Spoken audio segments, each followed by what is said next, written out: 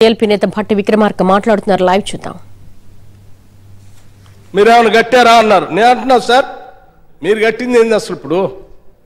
కాళేశ్వరం కాళేశ్వరం అని చాలా గొప్పగా చెప్తా ఉన్నారు. కాళేశ్వరం పేరు మీద పారిచ్చే నీళ్ళు శ్రీపాద ఎల్లంపల్లి మేం కట్టిందే. ఆ పైన ఎస్ఆర్ఎస్పి మేం కట్టిందే. ఆ తర్వాత కడెం నుంచి వచ్చే నీళ్ళు దా ఆ ప్రాజెక్ట్ మేం కట్టిందే. మిడ్ మానేర్ మేం కట్టిందే.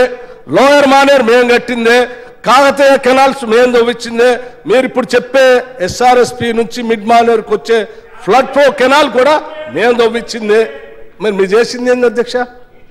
అందులో వాటిలో నీళ్ళు మారుతా ఉంటే ఇవన్నీ ఏదో మీరే తవ్వించిన అవన్నీ మేం చేశాము. మీరు కాళేశ్వరం కాళేశ్వరం అని చెప్పి మీరేమన్నా కాళేశ్వరం నుంచి సపరేట్గా ఇంతవరకు నాకైతే. మేడిగడ్డ నుంచి పంప్ చేయలేదు అధ్యక్ష. ఇప్పుడు కూడా నేను అదే చెప్పదలుచుకున్నాను అట్లాగే అధ్యక్ష పవర్ గురించి చెప్పారు అధ్యక్ష. పవర్ గురించి. సార్ చెప్పలేదు sir sir clarification sir clarification sir ఇది. సార్ పవర్ గురించి చెప్పారు. పవర్ గురించి నేను వారిని సూటిగా మా- అడుగుతా ఉన్నాను. సార్ నేను వారిని పవర్ గురించి సార్ నేను I cannot argue with my chair sir మీరు సార్ నేను ప్రభుత్వాన్ని అడుగుతున్నాను sir you to come to my risk Bhatti గారు మీరు బడ్జెట్ మీద ఇదివరకు ఇవన్నీ చెప్పారు. సార్ వారు ఎన్ని మాటలు మాట్లాడారు సార్ ఇప్పుడు? వారు అడిగిన దానికి చెప్పిన దానికి మరి నేను వాటికి చెప్పాలి కదా సార్? సేమ్ మళ్ళీ బడ్జెట్ మీద మాట్లాడిన తిరిగి నేను క్లారిఫికేషన్ అడుగుతా ఉన్నాను సార్. క్లారిఫికేషన్ అడుగుతున్నాను. ఈ వెల్ఫేర్లో ఇంత కోసారు కదా దీని సంగతి ఏందని అడుగుతా ఉన్నాను. తమరు కూడా డిప్యూటీ స్పీకర్గా చేశారు క్లారిఫికేషన్కి we cannot give much time clarification is clarification sir వారు చెప్పిన దానికి మాత్రం సమాధానం ఇస్తారు sir. Again again you are sir sir వారు చెప్పిన అన్ని రైట్ అనుకుంటారు సార్. ఇప్పుడు పవర్ గురించి చెప్పారు సార్. ఎలక్ట్రిసిటీ. అసలు రెండు వేల పద్నాలుగు తర్వాత టీఆర్ఎస్ పార్టీ వచ్చిన తర్వాతనే పవర్ ప్రొడక్షన్ అంతా మేమే తీసుకొచ్చాము. ఎవరు తీసుకురాలేదు మీరు చేయలేదన్న. నేను సూటిగా సార్ మీ ద్వారా వారిని అడుగుతా ఉన్నాను. ఈ ప్రభుత్వం వచ్చిన తర్వాత మీరు మొదలుపెట్టింది పవర్ ప్రాజెక్ట్స్ యాదాద్రి భద్రాద్రి ఛత్తీస్గఢ్తో అగ్రిమెంట్. ఈ మూడు కాకుండా కొత్తగా ఏదైనా ప్రాజెక్టులు మొదలుపెట్టి పూర్తి చేసి అన్ని రాష్ట్రాన్ని పవర్ ఇచ్చారా ఏమి ఇవ్వలేదు ఈ మూడు తప్ప స్టేట్ క్వశ్చన్. వచ్చే పవర్ అంతా గత కాంగ్రెస్ ప్రభుత్వాల హయాంలో మొదలుపెట్టినటువంటి ప్రాజెక్టుల ద్వారా పూర్తయింది తప్ప మీరు అధికారంలోకి వచ్చిన తర్వాత మొదలుపెట్టింది కేవలం ఈ మూడే. ఈ మూడిట్లో భద్రాద్రి పూర్తిగాలే యాదాద్రి పూర్తిగాలే ఛత్తీస్గఢ్ నుంచి పవర్ రాలే.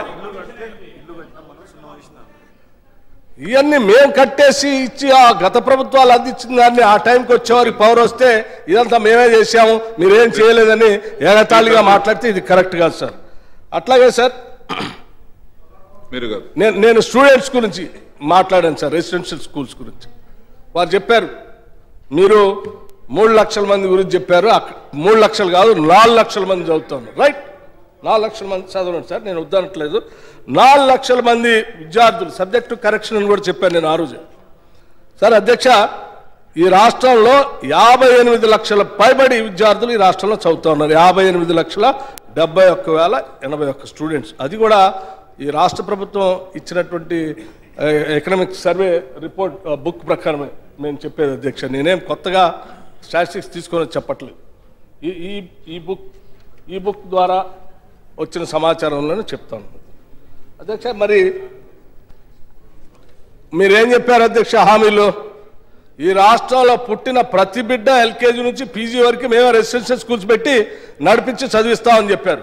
చదివి అంటే యాభై రెండు లక్షల మందికి నాలుగు లక్షల మంది అయితే అయిపోయినట్టేనా? అంటే ఇంకా ఇంకా మేము ఏమడుగుతామంటే ఈ చదివే విద్యార్థులందరూ కూడా గవర్నమెంట్ స్కూల్స్లో చదువుతా ఉన్నారు. వాళ్ళు క్వాలిటీ ఎడ్యుకేషన్ లేదు. సరిపోయే విధంగా కావాల్సిన విధంగా వాళ్ళకి ఇవ్వాలి. ఇవ్వాల్సిన స్థాయిలో మీరు ఇవ్వట్లేదు. నిధులు కేటాయించట్లేదు. బళ్ళు బాగలేదు. తలుపులు బాగలేదు. కిటికీలు బాగలేదు. పరిస్థితులు బాగలేదు. నిధులు కేటాయించమని చెప్పాం. వాటికి సమాధానం లేదు. మేము నాలుగు లక్షల మంది చదివిచ్చేసేస్తున్నాం అని చెప్పేసి. అట్లాగే అధ్యక్ష అధ్యక్ష. ముగించండి. సార్ సార్ ఇన్పుట్ సబ్సిడీ గురించి మాట్లాడారు సార్. మీరు ఎప్పుడైనా ఇన్పుట్ సబ్సిడీ ఇచ్చారా అని. సార్ నాకు తెలిసి నేను అప్పుడు ఉమ్మడి రాష్ట్ర ప్రభుత్వంలో కూడా ఉన్నాను సార్. ఆనాటి ప్రభుత్వాలు ఎప్పుడు తుఫాన్లు వచ్చినా ఏదో వచ్చినా ఇన్పుట్ సబ్సిడీ ఇచ్చేవారు. కానీ ఈ ప్రభుత్వం వచ్చిన తర్వాత టీఆర్ఎస్ పార్టీ వచ్చిన తర్వాత ఇంతవరకు ఇన్పుట్ సబ్సిడీ ఎప్పుడు ఇవ్వలేదు. నాకు తెలిసి వాళ్ళు ఇస్తే వారిని చెప్పమని చెప్పండి నా కరెక్ట్ మైసెల్ అట్లాగే సార్ రైతు బంధు రైతు బంధు మేమే ఇస్తా ఉన్నాం అని చెప్తున్నారు. సార్ ఇప్పుడే ముఖ్యమంత్రి గారు కేంద్రం నుంచి నిధులు వస్తా ఉంటే ఎవరో కాదది జిస్కా కిస్కా బి నెయ్యే జిస్కా బాప్కా బి నెయ్యే అది రావాల్సిందే అన్నారు. మనం రైతు బంధు ఇచ్చే డబ్బులు ఏమన్నా టీఆర్ఎస్ పార్టీ జేబులోంచి ఇస్తున్నావా స్టేట్ గవర్నమెంట్ అందరు ఇచ్చే ఈ ప్రజల సొమ్మే ఈ రాష్ట్ర ప్రజల సొమ్మే మేము కూడా అందులో వాటాదారులమే స్టేక్ హోల్డర్సే. మీరేమో ఎక్కడి నుంచి ఇట్లా ఇవ్వాల్సిందే. అట్లాగే అధ్యక్ష కళ్యాణ లక్ష్మి ఇస్తా ఉన్నాం. నువ్వు శ్రీధర్ బాబు గారు కూడా పంచండి. ఎస్ పంచుతాము.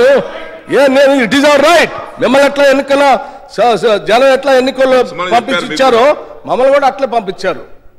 మేమేమి మీ- పార్టీ డబ్బులు ఇస్తా ఉంటే మీరు కూడా పోయి పంచండి అంటే అది వేరే విషయం. ఇది పార్టీ డబ్బులు కాదు. ప్రజల సొమ్మే ఇది. అందరు శాసనసభ్యులు ఎట్లా చేస్తారో మేము కూడా అట్లాగే చేస్తాం. అట్లాగే అధ్యక్ష సాదా బైనామా గురించి చెప్పారు అధ్యక్ష. సాదా బైనామా అప్పుడు. సాదా బైనామా గురించి చెప్తున్నాను.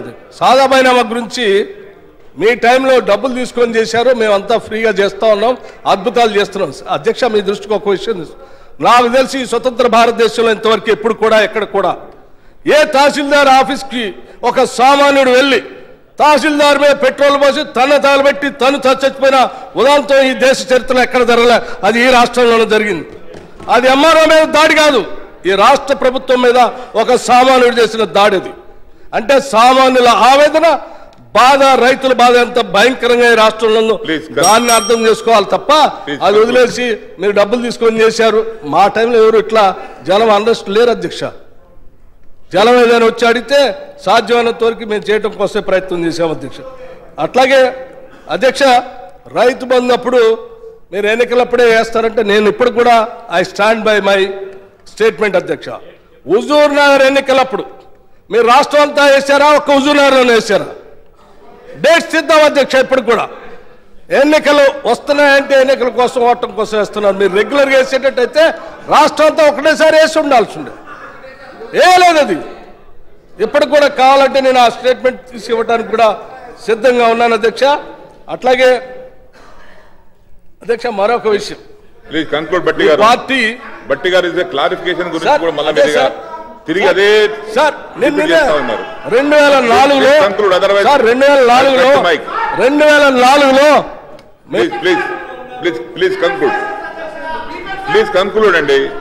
ప్లీజ్ కంక్లూడ్ సార్ మీరు ఎవరిని మాట్లాడిస్తారు సార్ కంక్లూడ్ అపోజిషన్ మాట్లాడద్దా సార్ సభలో? మాట్లాడిస్తున్నా కదా. అపోజిషన్ మాట్లా వాళ్ళు ఎంత అడ్డగోలుగా మాట్లాడిపోతే కూడా మేము సమాధానం చెప్పొద్దా sir conclude please conclude sir రెండు వేల నాలుగులో రెండు వేల నాలుగులో కాంగ్రెస్ ప్రభుత్వం ఇచ్చిన హామీలు అమలు చేయలేదని చెప్పారు.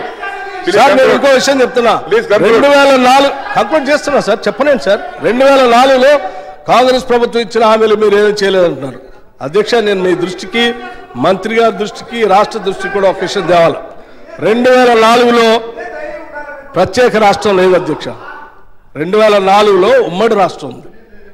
ఉమ్మడి రాష్ట్రంలో చేస్తున్నటువంటి కార్యకలాపాలు బాగలేదనే ప్రత్యేక రాష్ట్రం కావాలనే అందరూ కోరుకున్నట్టుగానే రాష్ట్రం తెచ్చుకున్నాం. మనం రిలేటివిటీ థిరీ ఎప్పటి నుంచి ఉంటుంది అధ్యక్ష? దేంతో కంపేర్ చేసుకుంటాం అధ్యక్ష? మన కంపారిజన్ ఎప్పుడు కూడా ఈ రాష్ట్రం ఏర్పడిన దగ్గర నుంచి కంపేర్ చేసుకుంటాం అధ్యక్ష. రెండు వేల పద్నాలుగు తర్వాత రాష్ట్రం ఏర్పడిన తర్వాత మనకున్న నిధులు విధులు ఈ అభివృద్ధి ఇవన్నీ ఉంటాయి కాబట్టి రాష్ట్రం తెచ్చుకున్నాం. ఆ తెచ్చిన రాష్ట్రంలో నిధులు విధులు అన్ని మీరు దుర్వినియోగం చేస్తున్నారని చెప్తా ఉన్నాం మేము. మినిస్టర్ గారు. మినిస్టర్ గారు. అధ్యక్ష గౌరవనీయులు బాటి విక్రమార్క గారు. Sufficient time అండి. Again, you you are going for another deviating, deviate. No, already given అండి. మీకు సమయం బాగా ఇచ్చాను మేము సమయం ఇచ్చాను. ఆ సమయాన్ని మీరు సద్వినియోగపరచుకోవటం లేదు I have given sufficient time I have given sufficient time I have given sufficient time కూర్చోండి sir. Please conclude please conclude please conclude conclude sir sir సభ పెట్టింది. ప్లీజ్ కంక్లూడ్ ప్రభుత్వం ప్రతిపక్షం రెండు ఉండటం కోసం సభ పెట్టారు అధ్యక్ష. కేవలం ప్రభుత్వం వాళ్ళు చెప్పాలనుకున్నంత చెప్పేసి ప్రతిపక్షం చెవులు మూసుకొని కళ్ళు మూసుకొని ఈయన వెళ్ళిపోవటానికి కోసం కాదు అధ్యక్ష. మేము వాస్తవ విషయాలు మీ ద్వారా సభ దృష్టి తేవాల్సింది అధ్యక్ష. రెండు వేల నాలుగులో ఆయన మంత్రిగా ఉన్నాడు అందులో. రెండు వేల నాలుగులో ఉన్న ప్రభుత్వంలో హరీష్ రావు గారు ఉన్నారు. వాళ్ళు అమలు చేయకపోతే ఆయన తప్పది. మా తప్పు కాదు నేను మంత్రిగా లేనప్పుడు. అధ్యక్ష అధ్యక్ష ఒక్క నిమిషం. అధ్యక్ష మినిస్టర్ సార్ వారు డిప్యూటీ